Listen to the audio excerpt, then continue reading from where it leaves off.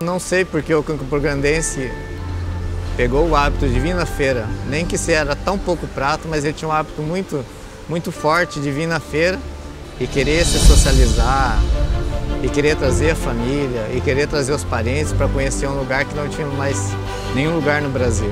No começo, meus pais, meus avós começaram com, a, com um pequeno agricultor, que passou por meus pais, e na época, como eles iam trabalhando com a agricultura, viram que a forma de comercializar, o melhor jeito de comercializar o que eles produziam era através da feira. Aí já começou a parte comercial deles. Comercialmente, eles começaram trabalhando na Feira Central, vendendo verdura, legume e tudo aquilo que eles produziam.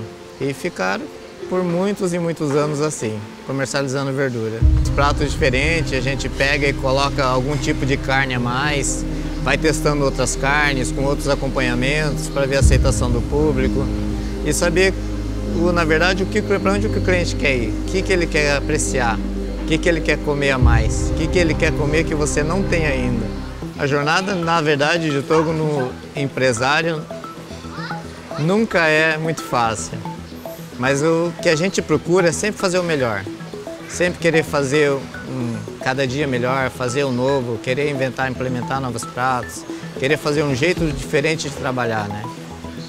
E sempre estar tá procurando se aprimorar, nossa mudança para cá, na verdade, no começo foi meio traumática, porque nossa visão era uma visão de feirante, e não de proprietário de restaurante, não de empresário, que é umas coisas que a gente, na verdade, teve muita dificuldade de se adaptar, de mudar, de conseguir fazer aquilo realmente funcionar como uma empresa.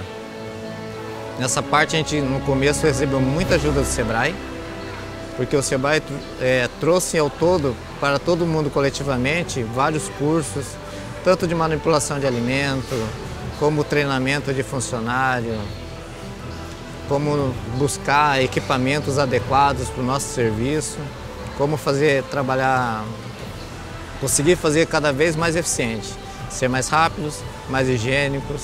Eu acho que o Sebrae é, na verdade, um portal de para o empreendedor. É uma porta de entrada para todas as pessoas que querem empreender. Quem quer saber mais, quem quer aprender, quem quer vender mais, quem quer fazer melhor. Quando você encontra um ambiente onde você pode conversar com as pessoas e ver a satisfação delas de serem atendidas, elas se alimentarem de forma adequada e saber que elas apreciaram muito aquilo que você fez.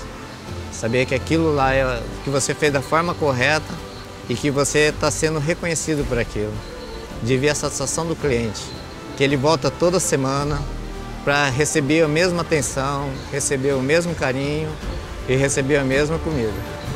E sempre poder trazer mais e mais pessoas e poder indicar para mais pessoas e poder se sentir bem nesse ambiente familiar, que é o que a gente é.